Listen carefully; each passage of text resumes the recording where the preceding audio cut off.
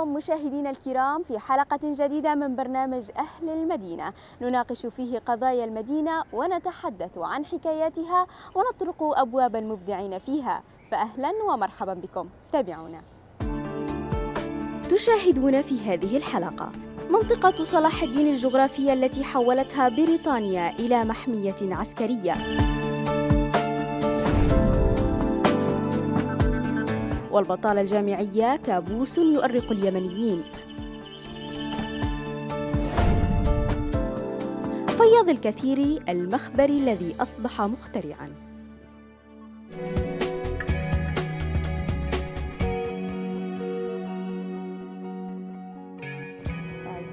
مشاهدينا الكرام كما عودناكم في أولى فقراتنا مجموعة من الفعاليات والأنشطة في جولة إخبارية سريعة. تسلمت إدارة شرطة السير في العاصمة المؤقتة عدن من دولة الإمارات الشقيقة 12 دراجة نارية في إطار دعمها المتواصل للمؤسسات الأمنية والمرافق الحكومية في المناطق المحررة من ميليشيا الانقلابيين. وأشادت شرطة السير بالدعم الإماراتي الذي قالت إنه مكنها من أداء مهامها الأمنية بشكل إيجابي وتحسن ملحوظ. وفي مدينة كريتر دشنت فعاليات مهرجان الصيف صيرة الأول والذي يهدف إلى إبراز تاريخ مدينة عدن ومعالمها السياحية. المهرجان ووفقا للقائمين عليه يعد رسالة بأن عدن قد استعادت حياتها الطبيعية وتعافت من جروح الحرب. وفي منطقة صيرة أيضا عقدت دورة تدريبية خاصة بدعم سبل العيش للصيادين وكيفية زيادة الدخل. المشروع استهدف وعلى مدى خمسة أيام جمعيتي صيادي خليج عدن وفقم النسائية وبمشاركة للمرأة بنسبة 40% من ضمن 965 متدرباً.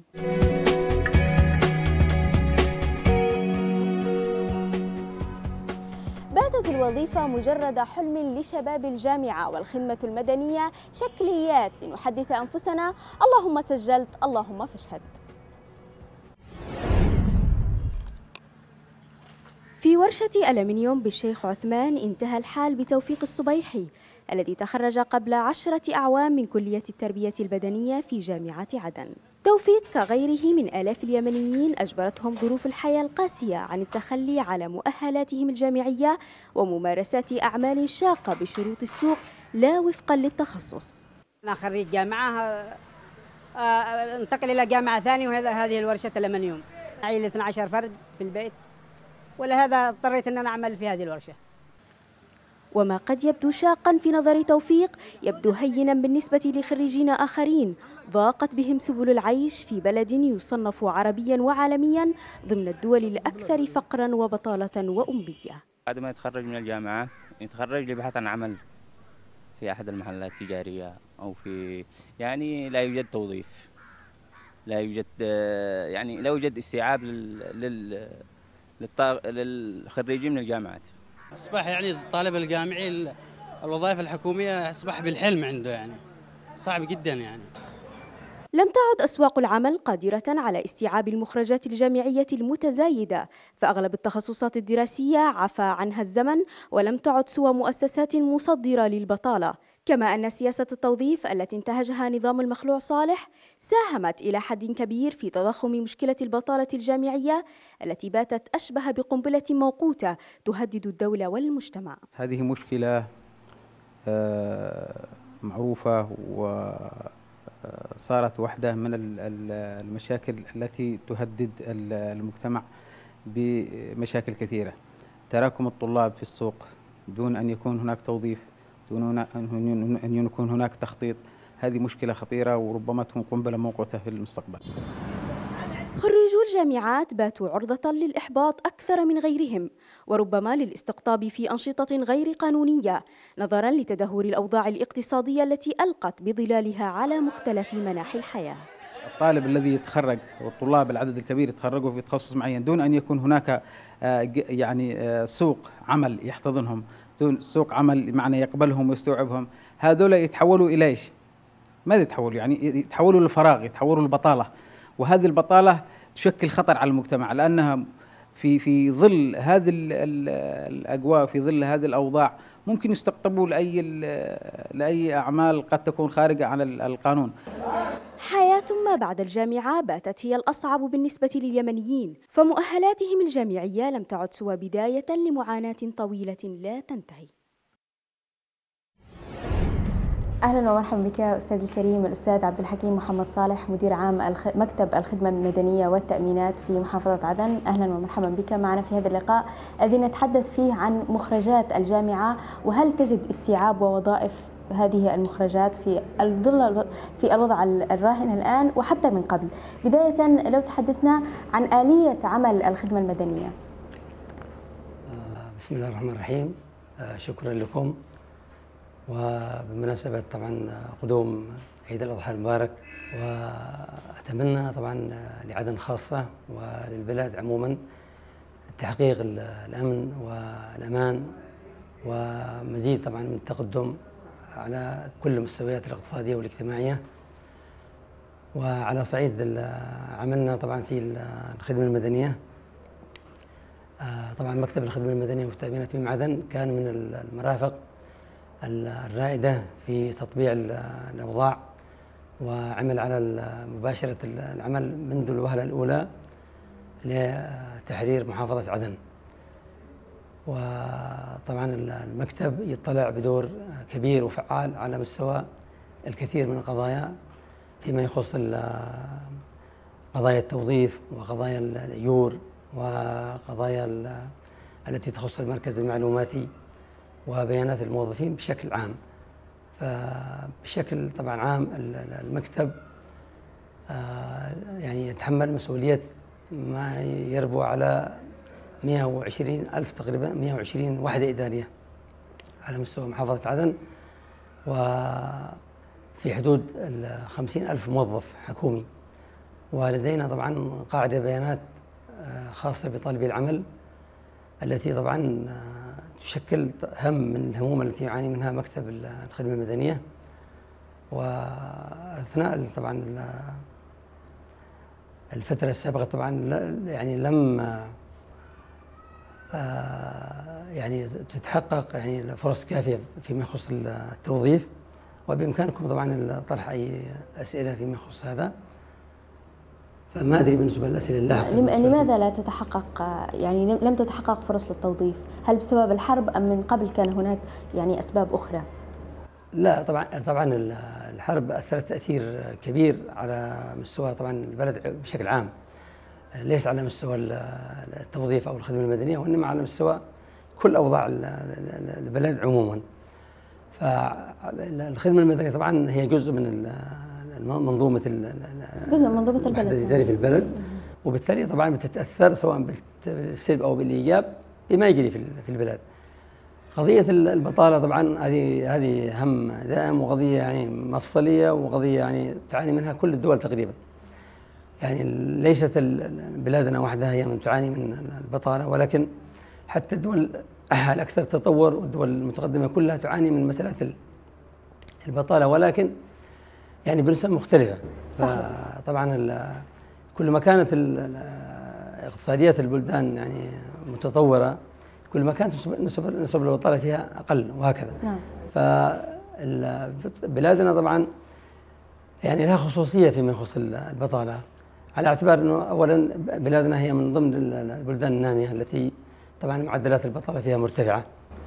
واقتصاد ال- ال- البلد طبعا هو اقتصاد يعني شبه متدهور نعم. يعني محدود.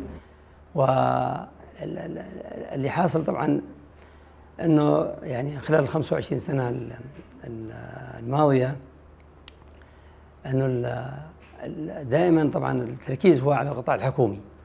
طبعا. مع الأسف إنه ال- الدولة طبعا لا يمكن أن تستوعب كل مخرجات التعليم في إطار ال- الوحدات الإدارية. لماذا؟ لأنه اولا الوحدات الإدارية تعاني من بطالة مغنعة. كثير من الوحدات الإدارية يعني تعاني من تشبع وتكدس في حجم ال- الموظفين. متى كانت اخر آخر دفعة يعني أخ- أخرجتها الخدمة المدنية كموظفين؟ في عام كم؟ طبعا على مدى السنوات ال- الفائتة كانت طبعا الخدمه المدنية تخرج ال- نسب للتوظيف ولكن كانت النسب يعني محدودة جدا. يعني على مدى يمكن عشر سنوات تقريبا ما قبل عام 2011 كانت نسبة التوظيف لا تتعدى 4% من حجم طالبي العمل. يعني كان كان المرصود لمحافظة عدن يعني لا, لا يزيد عن 400 وظيفة سنويا. يعني آخر من توظف ممن قيدوه كان من عام 2011 لا في 2011 طبعا كانت النسبة العظمى للتوظيف وموجب قرار طبعا صدر وتوظفوا تقريبا 50% من من مخرجات التعليم اللي كانت مقيدة عندنا. فيعني تفصيلا طبعا توظفوا يعني في حدود 7900 طالب عمل في عام 2011 طبعا هذه هذه الطفرة اللي حدثت كانت قاعدة البيانات لطالبي العمل في حدود 16000 في 2011 فبفضل التوظيف هذا الذي يتم في 2011 تقلصت إلى تقريبا 8000 الآن وفق آخر إحصاءات الآن وفق طبعا قبل يمكن أسبوع أو 10 أيام وصلت الآن أرقام طالبي العمل إلى 23000 هذا المقيدين المقيدين في الخدمة المدنية. المقيدين الآن أيوه. طبعا لأنه خلال السنوات اللاحقة 2011 دخلت البلد في إتون أزمات متلاحقة وبالتالي طبعا وهل تجدون أن هناك الآن يعني إلى حد ما سوف سوف يوظف هؤلاء يعني كل هؤلاء الذين هم مقيدين في الخدمة المدنية أو حتى نصفهم يعني نصف العدد مثلا؟ الإشكال الغام يا عزيزتي أنه كل طالبي العمل مع الأسف عندهم نظرة يعني تشاؤمية للتوظيف القطاع الخاص. وبالتالي كل التركيز دائما على الحكومة. الفرص في التوظيف الحكومي. إلى درجة إنه حتى حتى من من اللي وظفناهم في 2011 يعني بعضهم كان كان موظف في القطاع الخاص ويتقاضى راتب كبير في القطاع الخاص. تصور يتنازل عن الوظيفة في القطاع الخاص وفضل إنه يتوظف في القطاع الحكومي براتب يعني محدود جدا. ففي غلق من التوظيف في القطاع نعم الخاص. هناك تنسيق بينكم وبين القطاع الخاص في هذه الأمور؟ وفي أمور أخرى يعني أي تنسيقات من الخدمة المدنية والتأمينات؟ طبعا بالنسبة للتنسيقات مع مكتب العمل هو القطاع الخاص يسجل هناك طلبات الاحتياجات للقطاع الخاص تسجل في مكتب العمل والشؤون الاجتماعية. فإذا في طلبات مثلا لأي شركات أو شيء هم يرتبون الأمر هذا. بالنسبة لنا طبعا فقط آه، يقتصر التسجيل طبعا على المخرجات اولا الدبلوم ومخرجات البكالوريوس وعلى توظيف القطاع الحكومي فقط. لكن هذه المفاضلة يعني ما بين الأشخاص اللي أنتم تقدموهم للتوظيف. من هل هناك مفاضلة يعني معينة ولا فقط على حسب الأقدمية في التسجيل؟ لا طبعا في هناك يعني معايير نسميها معايير المفاضلة. طبعا هذه بتتم بشكل آلي في الكمبيوتر هذه المعايير طبعا لها علاقة بالمعدل التراكمي للخريج ولها علاقة باقدميه التخرج. ولها علاقة باقدميه التسجيل. ثلاث ماذا تعني بالمعدل التراكمي للخريج؟ المعدل التراكمي يعني الدرجة الذي حصل على الخريج هذه تقسم على أربعة.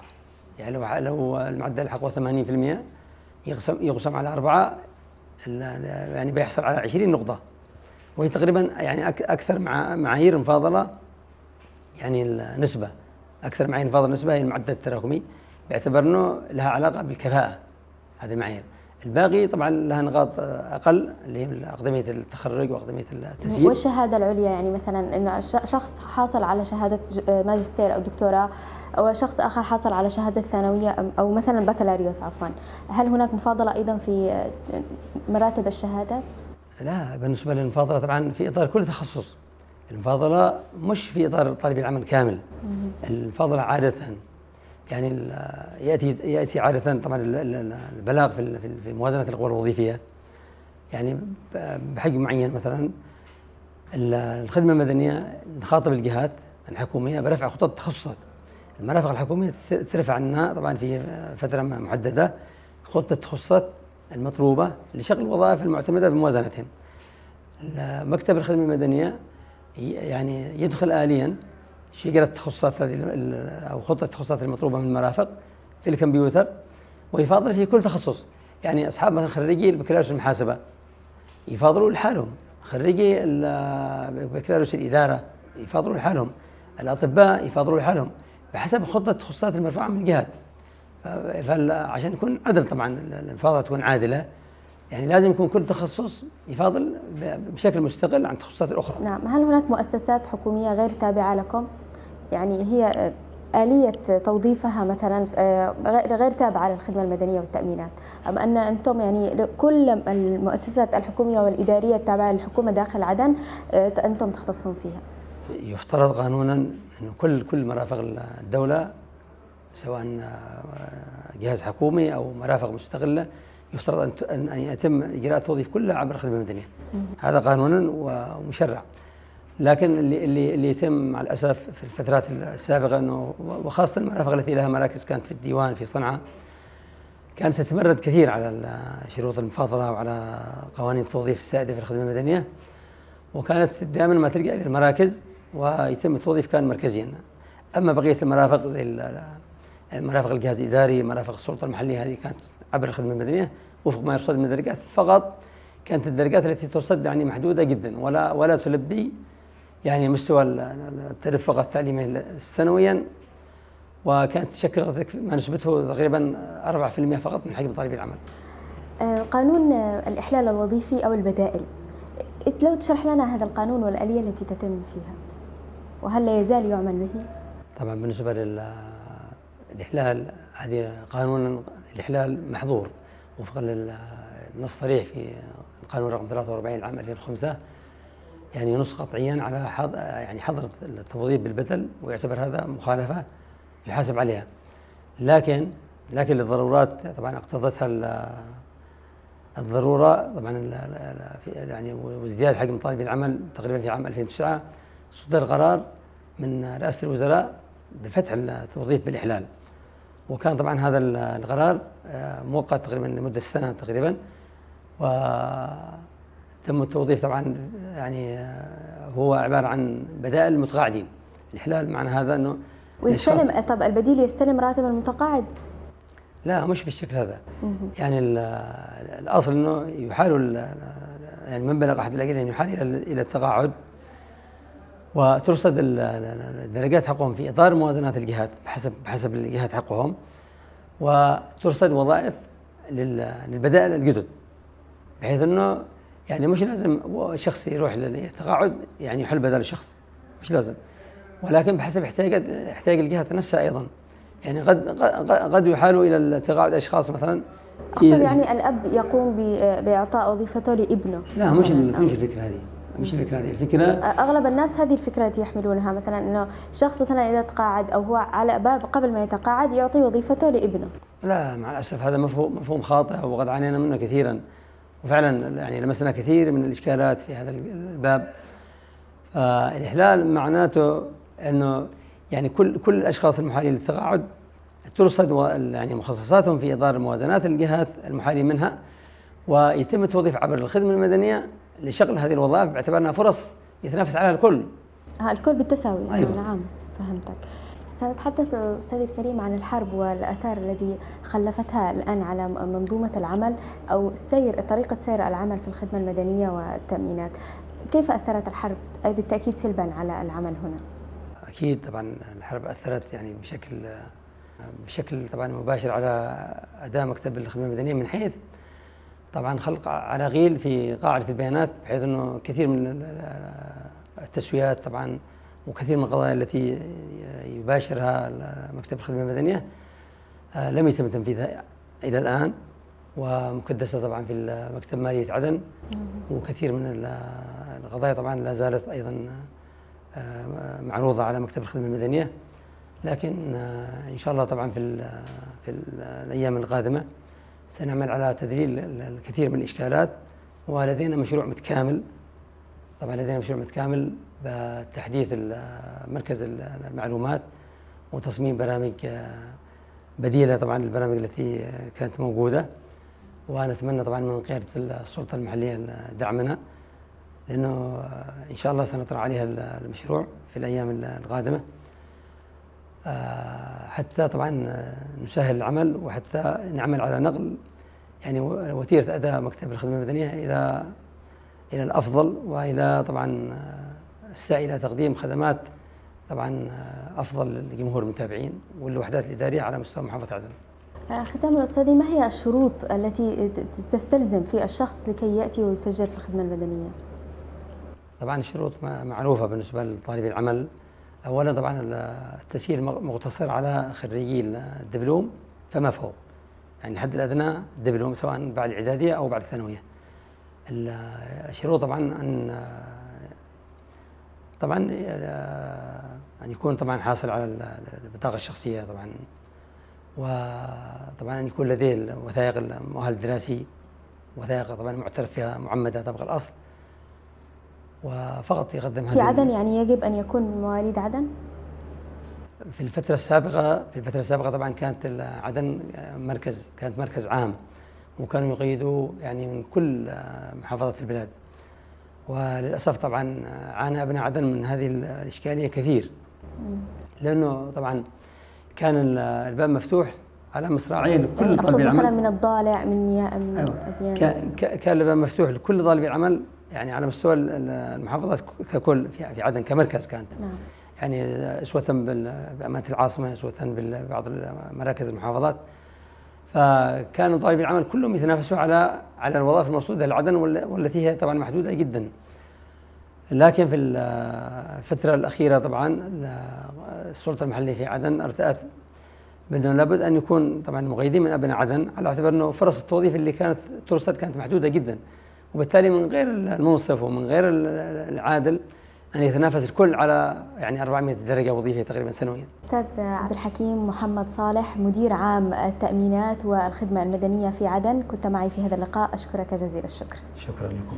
لن تجد مخرجات الجامعة حاضنة وظيفية ما لم يتحسن اقتصاد البلد وتوجد بنية تحتية قوية ولو إلى حد ما.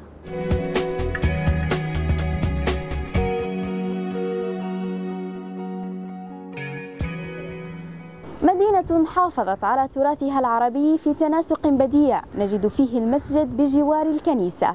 مدينة صلاح الدين حكايتنا في هذه الحلقة.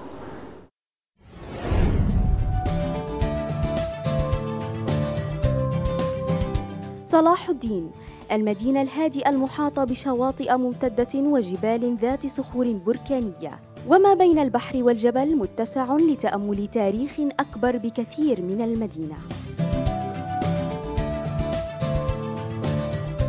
تستوقفنا محطات التاريخ لتخبرنا عن منطقة صلاح الدين وعلاقة بريطانيا بها وهذه إحدى ميزاتها.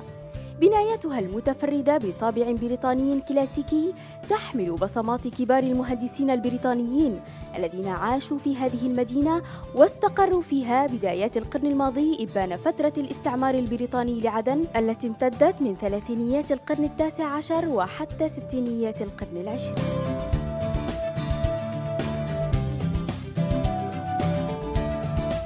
سميت منطقة صلاح الدين باسم القائد البطل صلاح الدين الأيوبي. أيضا البريطانيين آه، أعجبهم الموقع الاستراتيجي للمنطقة وقاموا ببناء قاعدة بريطانية داخل منطقة صلاح الدين. تقع منطقة صلاح الدين إلى الغرب من محافظة عدن وتبعد عن مركز المحافظة بحوالي 29 كيلومتر وتتبع جغرافيا مديرية البريقة ويقطنها ما يربو على العشرين ألف نسمة يتوزعون بين أحيائها المختلفة.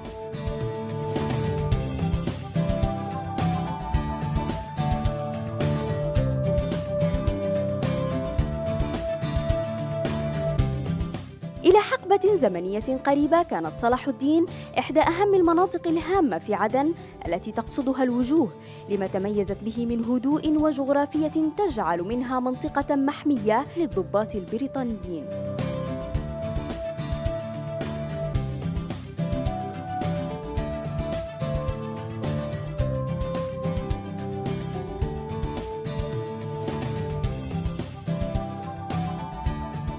كما يوجد في المدينة العديد من الشواهد التي تدل على قدمها ومجدها العريق سواء في عهد الاحتلال البريطاني أو في عهد ما كانت تعرف بجمهورية اليمن الديمقراطية الشعبية.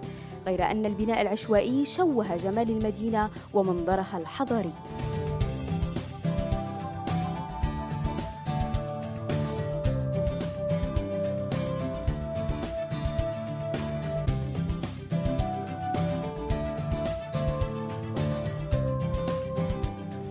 كانت المنطقة آه، جميلة جدا منظمة مرتبة.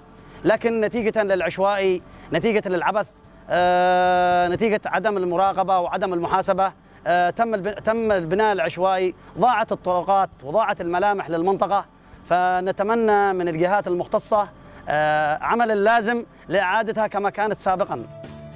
كان يحيط بالمدينة سور إسمنتي موصول بشباك حديدي أنشأه الإنجليز حيث لم يكن باستطاعة أحد الدخول إليها إلا من بوابتها الرئيسية حرصاً على سلامة سكانها.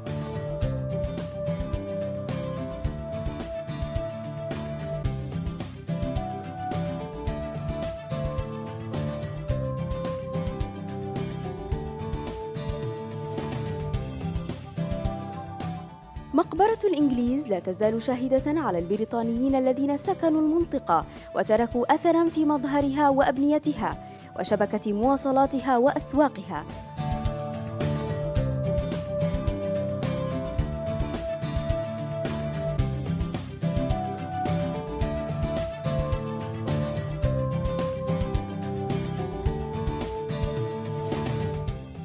إلا أنها حافظت على تراثها العربي ولا غرابة أن تجد المساجد إلى جوار الكنائس في تأكيد حتمي على عمق التعايش الطويل بين المسلمين ومعتنقي الديانة المسيحية.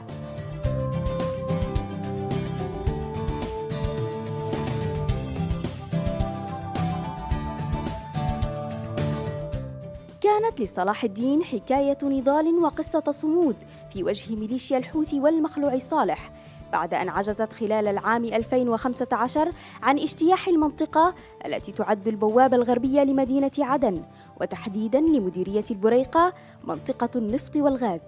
رغم تعرضها للقصف بأكثر من 100 صاروخ وفقدانها أكثر من 50 شهيداً وكأنها وجدت لتعيش. رغم البناء العشوائي الذي شوه جمال المدينة ومنظرها الحضري تبقى صلاح الدين مدينة محاطة بجمال الطبيعة ومتميزة بطبيعة أهلها الطيبين.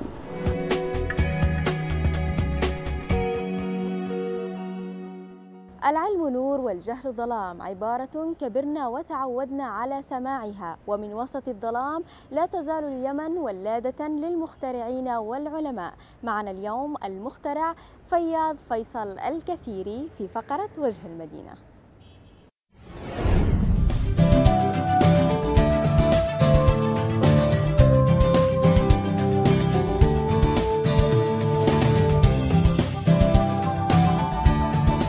تكون مخترعا ليس بالأمر السهل وليس بالأمر الصعب أيضا. كل ما تحتاجه رغبة قوية وخيال واسع وقدرة على الصبر والتحمل وإصرار على تحويل المستحيل إلى ممكن.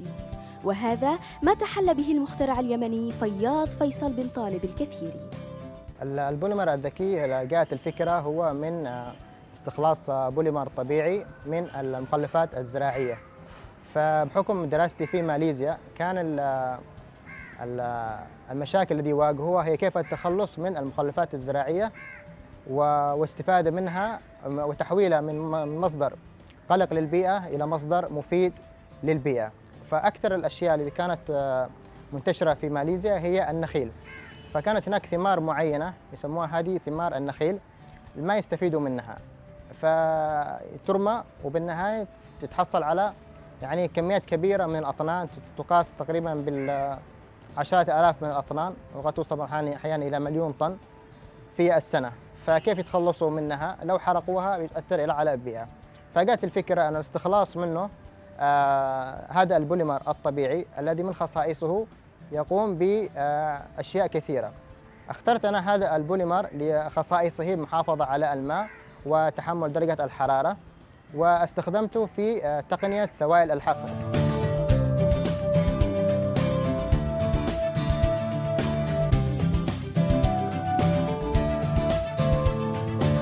وجد فياض نفسه منذ سن مبكرة مندمجا مع علم الكيمياء وتفاعلاته.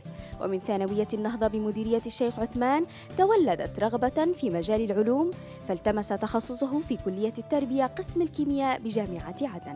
مبدئيا أنا درست الموحدة في عدن في الشيخ عثمان ومن ثم انتقلت إلى الثانوية في أيضا في الشيخ عثمان هي ثانوية النهضة.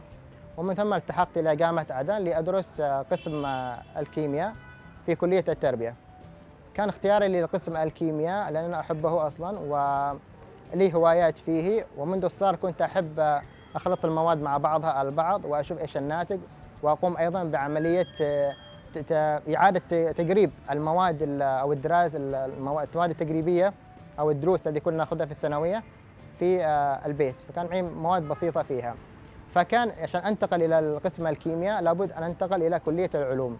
لكن للأسف كلية العلوم مش موجودة في عدن موجودة في محافظات أخرى. فاتجهت إلى كلية التربية لأدرس قسم الكيمياء فيها. رغم كل المعوقات الدراسية التي يعيشها الطالب الجامعي في اليمن إلا أن حب فياض للعلم والتخصص جعله دائم التفوق ومجدا في البحث العلمي. بعد تخرجه من الجامعة عمل لمدة سبع سنوات في مجال الفحوصات الطبية غير أن طموحاته لم تنتهي عند الوظيفة بل امتدت إلى ما هو أبعد من الدراسات العليا. بعد التخرج من الجامعة أخذت البكالوريوس في كلية العلوم آه، علوم كيمياء من كلية التربية آه، اشتغلت آه، في معامل طبية مدة سبع سنوات للفحوصات الطبية وإلى ذلك. بعدها التحقت في 2011 بماليزيا في جامعة العلوم الماليزية لدراسة الماجستير. فكان الدراسة عندي أكثر من خيار فاخترت دراسة الماجستير بالبحث لأن أحب البحث والتقريب وأحب الاكتشافات. غادر إلى ماليزيا باحثا في مهمة علمية وعاد منها بعد أربعة أعوام مخترعا بدرجة ماجستير. خاض في غربته تجارب مخبرية في علم الكيمياء وأجرى على مدى عامين 200 تجربة علمية وصولا إلى اختراع ما يسمى بالبلومر الذكي.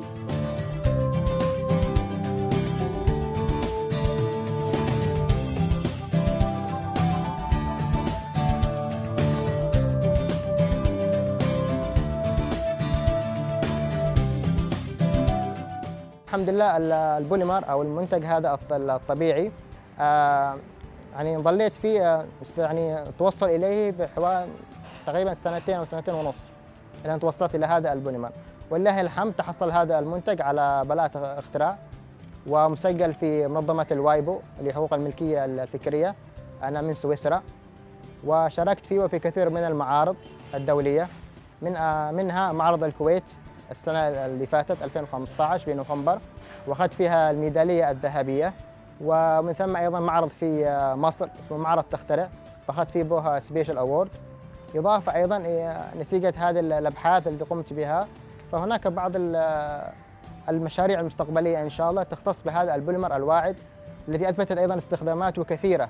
استخدم في الطب استخدم أيضا في الزراعة استخدم أيضا في آه، في تنقية المياه المجاري عدة تطبيقات. وإن شاء الله له تطبيقات أخرى. وفي إن شاء الله منتجات أخرى سنكشف عنها إن شاء الله لاحقا. يؤمن فياض كغيره من الباحثين بأهمية البحث العلمي في نهوض الأمم وتقدمها غير أنه يأسف كثيرا لهجرة العقول اليمنية وغياب مراكز الأبحاث العلمي والتطبيقي في بلد الإيمان والحكمة. في الختام ألقاكم في الأسبوع المقبل على خير ويبقى الخير دائما في الأرض وفي معدن الإنسان وفي وصل الأهل وتعمير المدينة وفي أهل المدينة. إلى اللقاء.